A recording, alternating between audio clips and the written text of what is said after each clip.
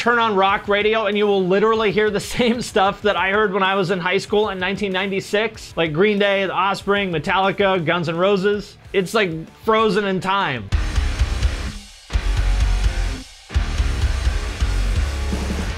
What's up, everybody? I'm Finn McKenty. This is the Punk Rock MBA, and today we are talking about butt rock. There's this set of stuff in pop culture that gets no respect from critics and the media, and yet is simultaneously incredibly popular. For example, how the Fast and the Furious sold billions and billions of dollars of tickets, so obviously somebody thinks those are great movies, and yet they will never even sniff an Oscar. And I kind of think of butt rock as the musical equivalent of that. Bands like Breaking Benjamin, Shinedown, and Seether are massively popular, and yet when was the last time that you heard any kind of critic or influencer in the rock media space even acknowledge that they exist, let alone say anything good about them?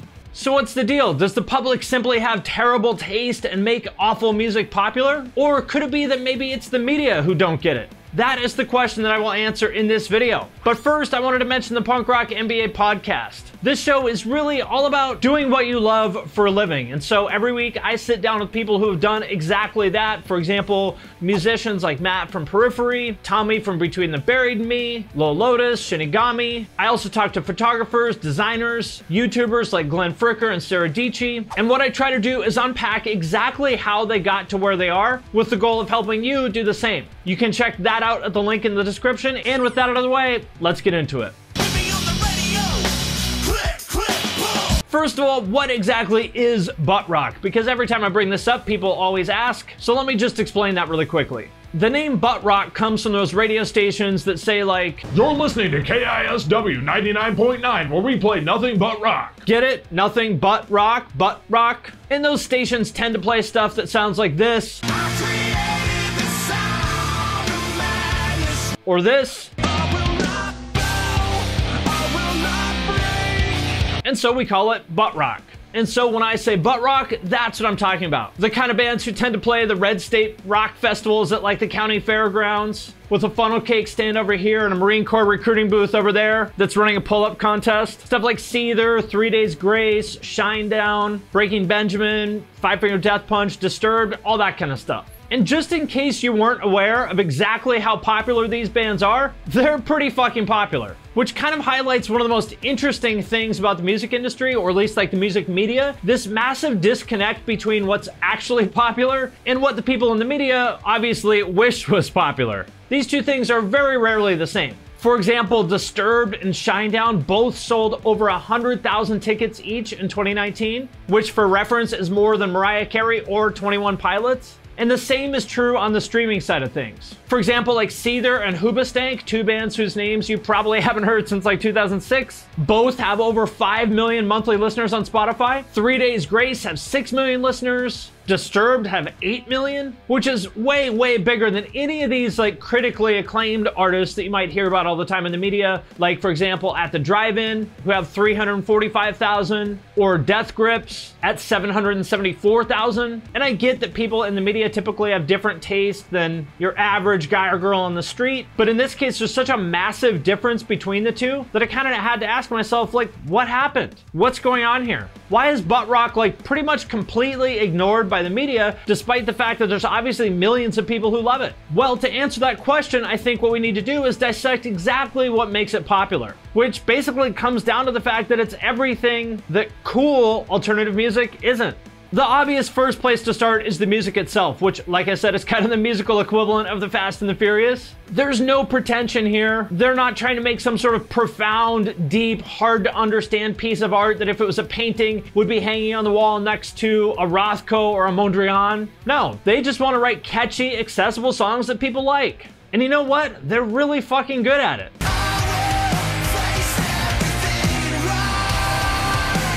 Which I think is way, way harder than writing some needlessly complex riff salad song with no hook and hiding behind the excuse of progressive as the reason why nobody other than other guitar nerds likes it. Writing simple, catchy songs is really fucking hard. And for everyone who says, Whatever, sorry, I just don't want to like barf out these crappy radio rock songs. why don't you show us how easy it is? Why don't you prove me wrong by writing a radio hit and making me eat my words? You might find out that it's actually a little bit harder than you think. And I think a big part of their appeal is that they're all about singles. Which almost seems like a dirty word in rock and metal now. There's this like strange emotional attachment to albums and this kind of unstated belief that there's something like cheap or corny about trying to write songs with big hooks because that's what pop artists do. Because pop is bad. But you know what? Writing singles works. Almost every one of these artists got big off of some huge radio hit that's pretty much responsible for the whole rest of their career. You might remember some of these names. For example, Hoobastank had The Reason. Three Days Grace had I Hate Everything About You.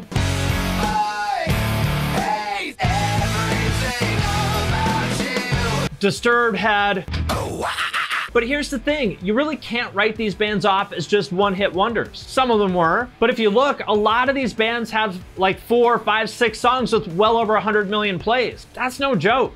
And it's actually easy to see why they had so much success. Because as corny as you might think they are, these are just objectively great fucking songs. Even if you absolutely hate this stuff, and a lot of you guys probably do, I bet you can sing the chorus to half of the songs that I mentioned in this video. And you kind of have to respect that, I think.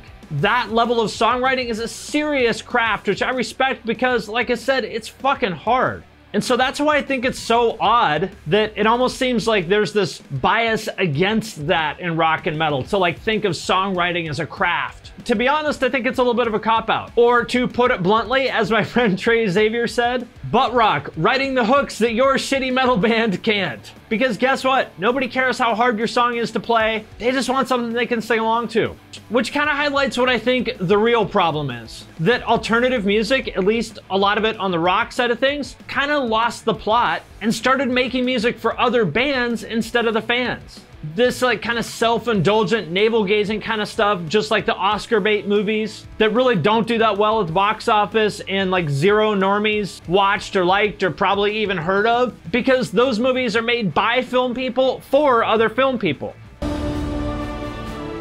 but not the butt rock bands. They're here to give the people a show, give them some songs that they can sing along to with a beer in their hand. And yeah, they don't really get a lot of love from the media, but they don't give a shit what the critics think. They don't have to because their fans love them and that's all that matters. And speaking of the fans, I think that's another big part of the equation here. The culture clash between butt rock fans and the media is very real. I would say the easiest way to describe those fans is what I always refer to as like the military wife demographic. The kind of people who shop at Buckle and still wear American Fighter shirts, bootcut bedazzled jeans, chain wallets, and leather wrist cuffs lots of soul patches and goatees and faux hawks, and girls with that motocross fangirl skunk hair thing, which I confess I loved back then. kind of girls who look like they might have been on Rock of Love. And I make fun of these people a lot, but really it's completely in a good natured, like fun kind of way because really they are my people in a lot of ways. I grew up in a town about 30 miles outside of Seattle with a lot of pickup trucks with a gun rack in the back window. A lot of the kids I went to high school with would go hunting on the weekends. My dad was in the Navy and then a corrections officer. And so even though I don't necessarily love the music, the Seether, Breaking Benjamin, Shinedown kind of fans really are my people in a lot of ways. Chad Mack in the place, and this is for them jacked up trucks with the bass. And is there any group of people that the media looks down on more than the kind of blue collar, middle American kind of people that are likely to be butt rock fans? I can't think of one other than maybe tech billionaires. And I'll tell you why because 90% of the people writing these like snarky blog posts from Brooklyn or Portland probably moved there three years ago from Davenport, Iowa or Springfield, Missouri. Maybe if I just talk shit on butt rock fans from Missouri at every opportunity, none of my cool new friends here in Portland that wear full of hell shirts will catch on to the fact that I was a butt rock fan from Missouri. And to be clear, I'm not saying that they should like this music or the fans. Nobody is obligated to like anything. But the way that they turn their noses up at it in such a condescending, classist kind of way, I think tells you a lot. And to kind of prove the point that their attitude is driven more by the fans than the music itself, you'll notice that they kind of switch the narrative about certain artists when they transition between scenes. For example, at the beginning, Avenged Sevenfold were emo sceney weenies when they wore guyliner and played to metalcore fans. When they got more of a hard rock look and shifted their fan base to that military wife demographic, the narrative about them changed to now they're like redneck jock rock. And speaking of the butt rock fandom, That brings me to my next point about the insane longevity of this stuff and the role that the fans play in that. This is maybe the most interesting thing about butt rock to me. That it's been doing these big, big numbers for a solid 20 years, despite having basically like zero artistic innovation that whole time. I mean, if you listen to a Skillet song from 2001, compared to one of their songs from now, 2020,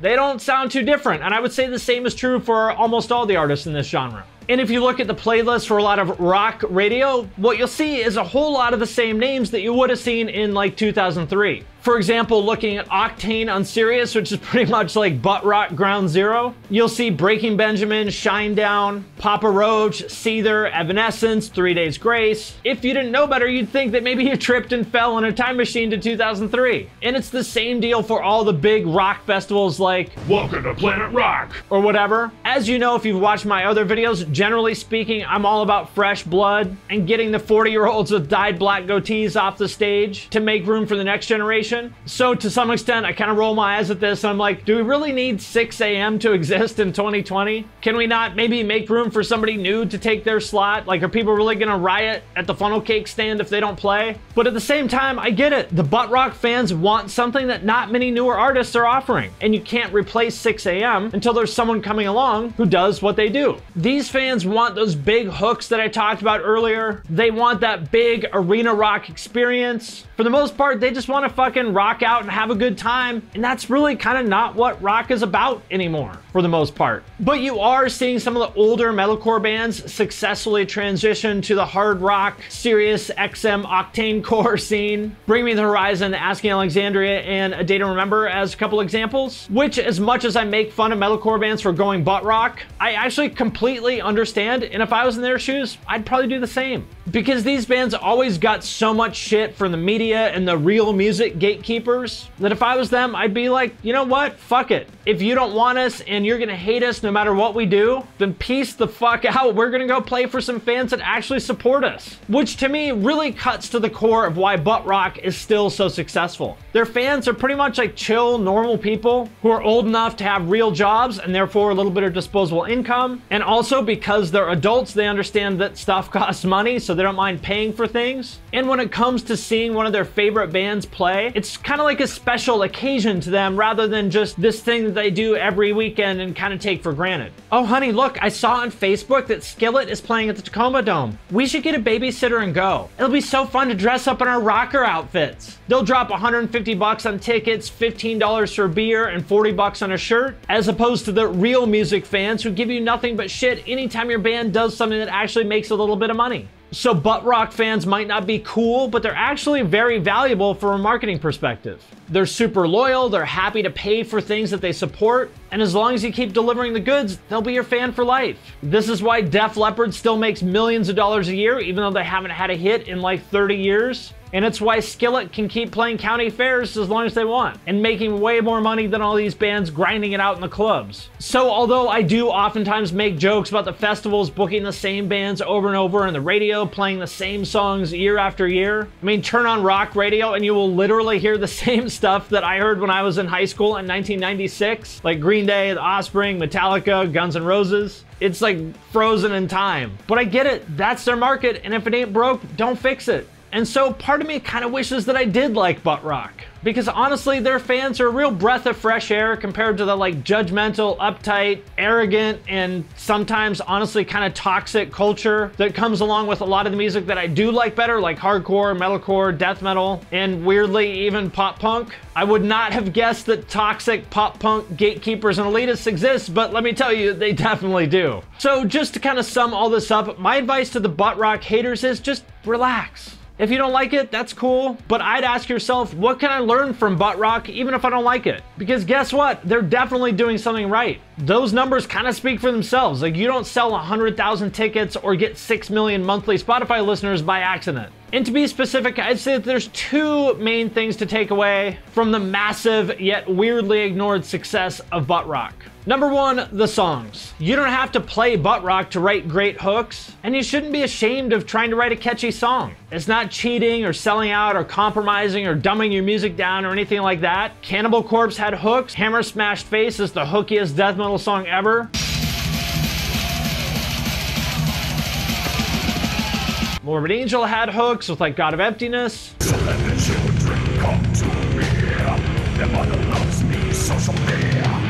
And so did all the other greats like Slayer, Anthrax, Pantera, the list goes on. People like hooks. And number two, the culture of butt rock.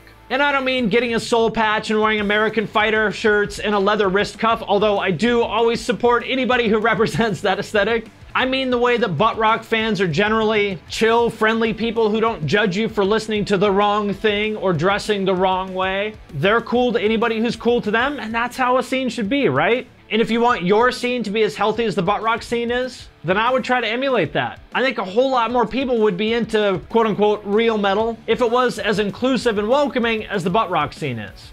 So just to kind of sum it up, the big takeaway here is one of my favorite sayings, don't hate, congratulate. I talk to dozens of people every day who are trying to make things happen with their music. And if you are one of those people, I would say pay a little bit more attention to what has made butt rock so successful and a little bit less attention to pleasing the critics. No Rogaine in the propane All right, my friends, that does it for this video on the misunderstood genius of butt rock. As always, let me know what you think in the comments. If you haven't checked out the Punk Rock MBA podcast, I would love it if you would do that. It's all about doing what you love for a living. So I sit down with musicians, photographers, designers, YouTubers, anybody who's managed to do that, and I try to unpack exactly how they got to where they are today with the goal of helping you do the same. You can check that out at the link in the description. And as always, I want to sincerely thank everyone who supports us on Patreon. It is because of your support that we're able to do a lot of things, but especially the podcast. Because of the patrons, I was able to hire a producer and editor who makes it all happen. So thank you very much for your support. If you would like to join the Patreon, patrons get access to every podcast a week early. There's a members only private Discord server that I'm in all the time. There's a way to have me review your band, podcast, YouTube channel, design portfolio, anything else that you might want to get my feedback on. So if that sounds cool, you can check that out at the link in the description. And with that, I'm going to sign off for now, but I will see you next time.